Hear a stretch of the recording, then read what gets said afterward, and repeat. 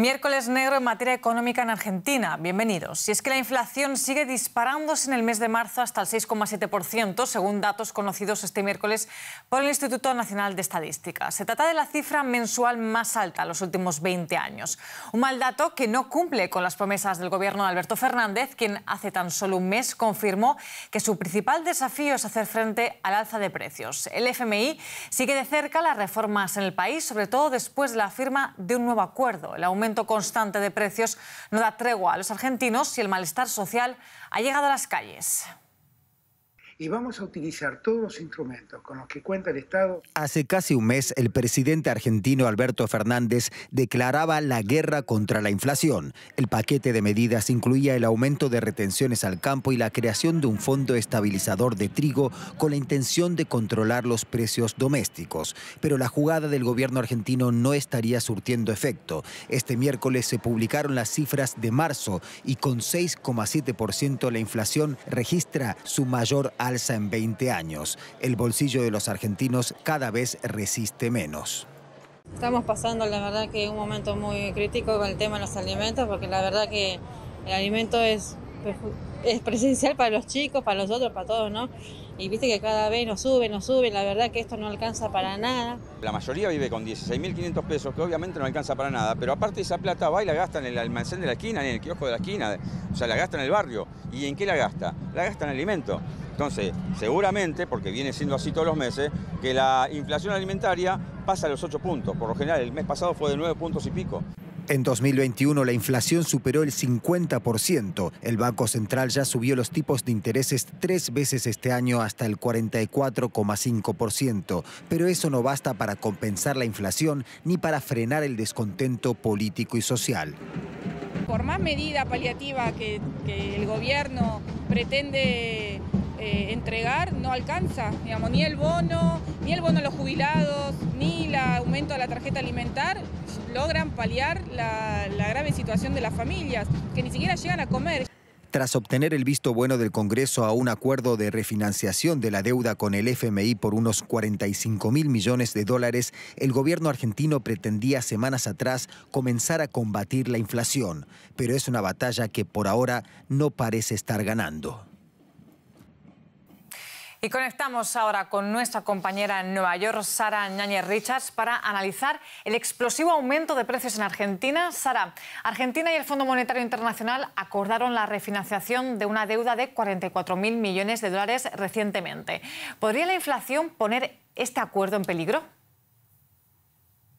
Pues efectivamente, Vilén, pese a que este acuerdo se firmó recientemente, la realidad en Argentina ha cambiado totalmente desde cuando se redactó este texto. Y es que Argentina se había comprometido con el FMI a conseguir un equilibrio fiscal para el 2024, a bajar la inflación y a reducir los subsidios a la energía, unas metas que probablemente no conseguirá. Es por ello que Argentina y el FMI han decidido eh, adelantar la reunión que tenían prevista para junio a mayo. Por su parte, el FMI ha dicho que frente a este acuerdo con Argentina se enfrenta a riesgos muy altos debido a la situación que está viviendo el país. Y es que pese a los datos que vemos hoy, como bien mencionabas, también está el dato de que el IPC eh, ha subido a nivel interanual un, interanual, perdón, un 55,1%.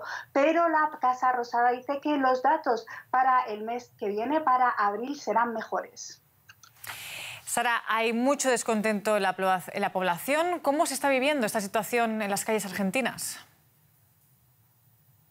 Efectivamente, Belén, el hecho de que Argentina sea uno de los países con más inflación eh, en el mundo. Se está sintiendo ya no solo en los precios de los supermercados, sino también en las calles. Y es normal ver, por ejemplo, en Buenos Aires, en una de las plazas más centrales, que es la Plaza de Mayo, eh, protestas. También es normal ver cómo organizaciones se juntan para dar comida y pan, verduras en los barrios más necesitados, así como otras organizaciones se juntan para vender comida a precios más bajos para que los que no pueden comprar la comida en los supermercados puedan llevar algo de comida a sus casas. Gracias, Sara Ñañez, por este análisis. Y vamos ahora con consecuencias económicas de la guerra en Ucrania. La Unión Europea prohibió la semana pasada las importaciones de carbón ruso. Este ha sido el primer combustible fósil objeto de las sanciones y tal vez el primer paso a un embargo energético más amplio contra Rusia. Y es que varios países europeos, entre ellos Alemania, dependen en gran medida de los combustibles fósiles rusos, en particular del gas. Varias empresas alemanas se muestran preocupadas ante un posible embargo vertido de acero líquido en moldes en la planta de fundición FBH en Alemania. Se necesita gas para fundir el metal a temperaturas muy altas. Un embargo al gas ruso sería devastador para esta empresa. Un bloqueo inmediato del suministro de gas representaría el cese de nuestra actividad. La demanda de energía en la industria del vidrio también es enorme. De la fábrica de Vegan Glass salen a diario 8 millones de botellas y otros recipientes. El vidrio se funde a 1600 grados centígrados, un paso esencial en el proceso para evitar su endurecimiento. No sería posible operar los tanques de licuado de vidrio y al final probablemente se arruinarían. El centro de nuestra base industrial colapsaría. La empresa tendría que esperar meses para recibir tanques de fundición nuevos. Suspender su actividad repercutiría en toda Alemania, ya que produce una cuarta parte de todas las botellas y recipientes de vidrio del país. Y el porcentaje va en aumento porque Rusia y Ucrania ya no son proveedores. Esta es una operación continua.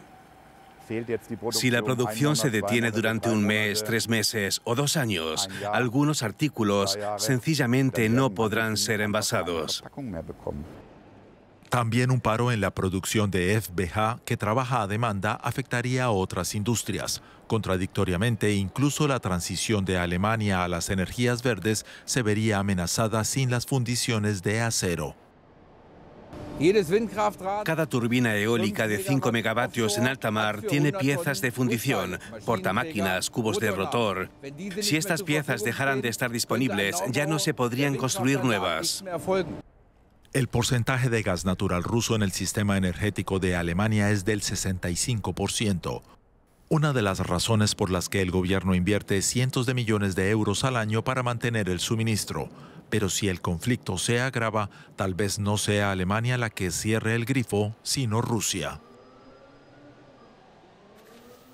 Antes de la guerra, Polonia contaba con cientos de miles de trabajadores ucranianos. Pero con el regreso de muchos hombres a su país para luchar en la guerra, algunos sectores sufren ahora una importante escasez de mano de obra. El sector de transporte de Polonia es uno de los más grandes de Europa. Las empresas polacas emplean a unos 300.000 conductores para transportar productos por todo el continente. Uno de cada tres es ucraniano, pero desde que estalló la guerra, las cosas han cambiado. De los 100.000, un gran número de conductores ucranianos ha regresado a su país, probablemente el 70%. Nos faltan transportistas. No estamos enfadados con ellos. Sabemos perfectamente lo difícil que es su situación y sus empleos estarán esperándoles. Alexander Farenik es director de una empresa de transportes y él mismo es ucraniano. Su compañía, iTrans, emplea 120 conductores de Georgia, Bielorrusia y Ucrania, pero a ninguno de Polonia. Alexander intenta mantener a sus conductores ucranianos en la Unión Europea. La guerra en Ucrania nos ha dejado sin transportistas, nuestros propios conductores ucranianos. Nuestros chicos se van a Ucrania para defender su país. Los que están aquí piensan en regresar, pero todavía podemos detenerlos. Es casi imposible volver ahora con todas las ciudades bombardeadas.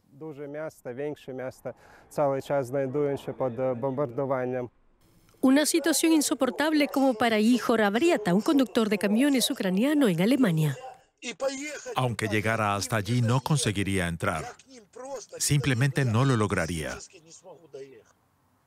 Físicamente no puedo llegar, no puedo hacer nada, es inútil. No sé qué hacer. No quiero nada, ni siquiera dinero. Solo le pido a Dios que todos sobrevivan. Eso es todo. Todo lo que queda son fotos de su ciudad natal en el este de Ucrania que su familia le envió. De momento sigue trabajando dentro de la Unión Europea. Pero, ¿por cuánto tiempo? No podremos compensar una pérdida tan grande de transportistas. Será un gran problema para toda Europa. Si la logística polaca se debilita, afectará a toda la Unión Europea. No solo las estanterías polacas se quedarán vacías. No se vislumbra una mejora de la crisis. Cuanto más dure la guerra, mayor será la probabilidad de que se impongan sanciones, incluso contra Bielorrusia. Esto podría dejar sin trabajo a los conductores bielorrusos, lo que significa aún menos camiones en las carreteras europeas. Y terminamos con otras noticias económicas en formato breve. Los rusos no pueden utilizar tarjetas de crédito chinas como Union Pay para compras en línea. Minoristas de Internet en el extranjero han bloqueado pagos con todas las tarjetas emitidas en Rusia, incluidas las de Union Pay. Muchos rusos habían esperado poder hacer pagos con tarjetas emitidas por bancos chinos cuando Visa y Mastercard cerraron en Rusia. La aerolínea Delta Airlines ha anunciado pérdidas de, 940 millones de dólares en el primer trimestre. El coste del combustible ha aumentado un tercio desde finales del año pasado. Sin embargo, el precio de las acciones de Delta se disparó por la noticia de un aumento de las reservas de vuelos en las últimas semanas. Esto es todo en este informativo económico. Nos vemos en un rato con mucho más. Gracias por su atención.